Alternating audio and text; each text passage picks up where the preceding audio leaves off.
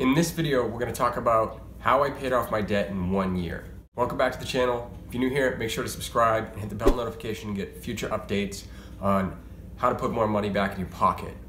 You might be asking yourself, how do I get out of debt? You could be in one of those situations. If you're like a lot of millennials, you probably have a mountain of credit card debt and student loans, and it's just a nightmare. You want to buy a house, you want to start a family maybe, or you want to go on vacation, and you just, you're not getting anywhere.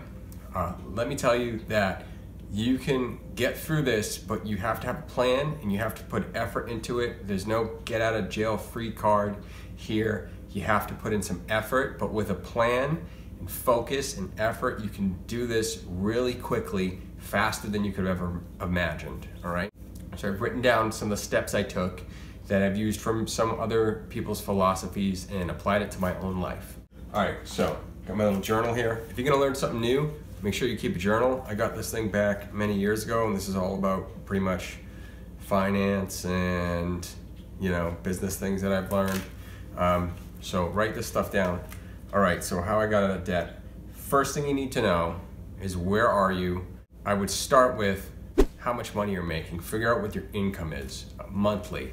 You want to look at the top line, which is what you're grossing, and then the bottom line, what you're netting, and make sure your taxes are right. If that's too much for you, then just put that aside for now, and then just look at the take home you're taking every week from your paycheck. Figure out what's coming in. The next, you got to figure this out and you got to be honest about it. Figure out what you're spending. You need to know what all your expenses are going out every month. Your rent or your mortgage, uh, car payments, if you have car payment, entertainment, are you going out to eat, your groceries, kids, games, baseball practice, ballet, any of that stuff, write it all down. Maybe you're a gamer and you you buy games frequently.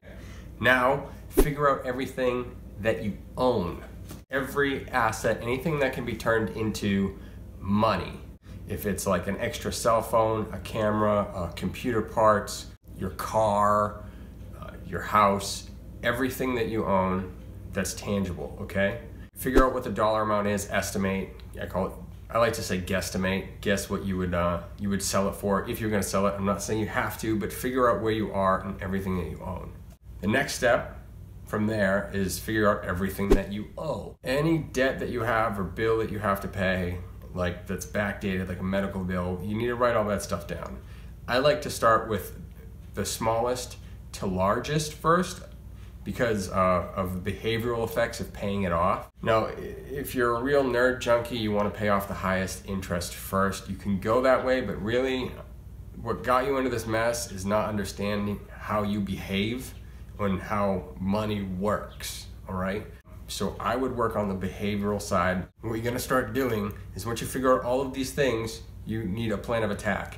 First thing you need to do is obviously write out all those debts, smallest to largest. If you owe your brother 50 bucks, that goes first, okay? If you have a repair bill at the auto shop that's 100 bucks that you still haven't paid off, write that next and keep going all the way up to you know, um, your student loan debts or maybe your car, student loan debts, may, uh, your house. If you have that, we can save that to later if you're trying to pay off your mortgage, but write all that down. You're gonna pay off the smallest one first and make minimum payments on everything else, all right? So if it's 50 bucks and you have 50 bucks in the bank, pay that off. If you're single and you have a safe job, maybe you wanna bring your savings down. If you have savings and debt, bring that down to maybe a $1,000 or maybe one month or two months expenses, whatever's comfortable with you. But if you're sitting on, you know, $15,000 in the bank, all right, just cash, not retirement accounts, but just cash, and you have $15,000 in debt, you're essentially at zero, okay? You gotta be honest with yourself about that. Can you take some of that money and pay off this debt and then make that debt smaller so you can work it off? Maybe if you get it down to $5000 an extra job on the side over the summer you can knock that out and by christmas time you can pay cash for all your gifts. So you're starting all that maybe you don't have $50 to pay all this stuff maybe you looked at your income and your expenses and there's just nothing there so the quickest way you can come up with some money is to sell some stuff all right? You've listed everything you have. Now, if you don't want to go getting rid of your house, then you shouldn't. You know, that's I wouldn't recommend just selling your house just so you have some money. But if you have any other kind of assets that you don't use, anything that's sitting around, maybe there's like a, a weight set, like a Bowflex weight set that you don't use because you have a gym membership. Sell those, turn that into money. That's a hundred bucks. That pays off the 50 bucks that you owe your brother. All right. And then it goes to the next thing. If you have an extra old cell phone or something, trade it in, get some cash for it. Think of anything that you have. Maybe you have furniture or something that you can sell at a thrift store, some old clothes you could sell on like, uh, what is it, Poshmark or something, or letgo. You want to turn this stuff into cash as quickly as you can, all right? Just to get the ball rolling. The next thing, you got to get either a job or a part-time business or something.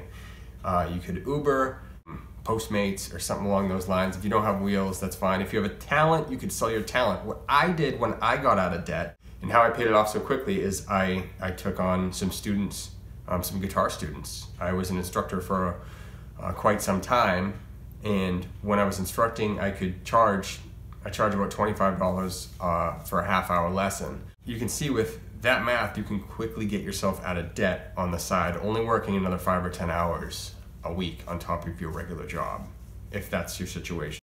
If you don't have that, sell some stuff, maybe get a second part-time job somewhere, something in sales where you can get more than just an hourly wage. From there, I would try to downsize look at what you've been spending. Maybe you shouldn't go out and buy another video game. Maybe you should wait until you find it on sale. Maybe just wear those ragged jeans a little bit longer and not shop at Whole Foods and get the organic stuff at your local grocery store where everything's a little bit less. Maybe cancel some of your subscriptions. If you use like Hulu Live, maybe just go down to Hulu. That's like $45 down to $5, you know. Anything you do to decrease what you have to spend money on while you're getting yourself out of debt. Now remember, this is all just until you get out of debt, okay? That's the purpose of this. Last but not least, man, as you're going through this, jump on YouTube and listen to other people that have gone through this. Watch videos like this. Listen to some professionals. There's like uh, Robert Kiyosaki. He has a different opinion on, on debt um, but he agrees with bad debt, like um, doodads, like your TV and stuff, and a car, anything that's not making you money potentially. Or uh, listen to Dave Ramsey. He does this um, same type of format of paying off debt. He calls it the, the debt snowball. Look for anyone who's who's done this and just put your head to the grindstone. You know, you might have to ignore your friends for a little while, not go out on Friday nights if you can, or if you do, only get a soda or one drink, and and just get focused. You can do this. I'm telling you, it's possible. I've done it myself.